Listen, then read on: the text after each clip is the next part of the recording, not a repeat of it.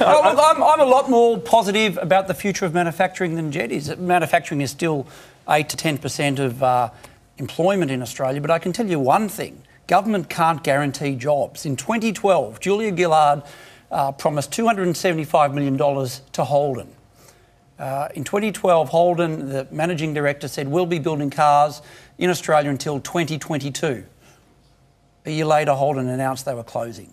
There was an intervening event We- there, federal election.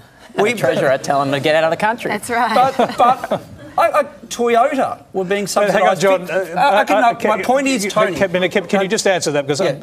you could say but, but, but there was an election. There and was an there was a decision taken to pull the rug out from under no, the no, no, current. no, no, that is not the case. That is not Well, the to I was stop sitting in the it. parliament No, as is- Joe Hockey said, get. No, that is that is Say get.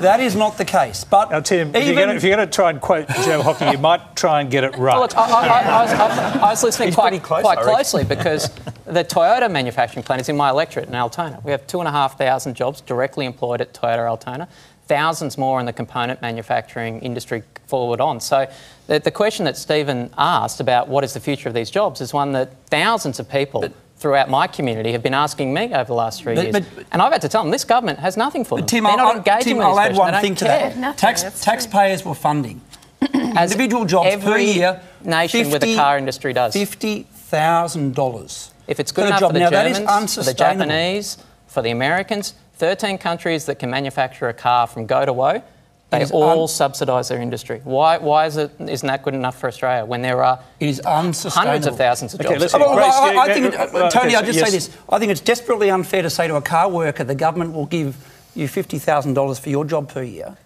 but not to someone else.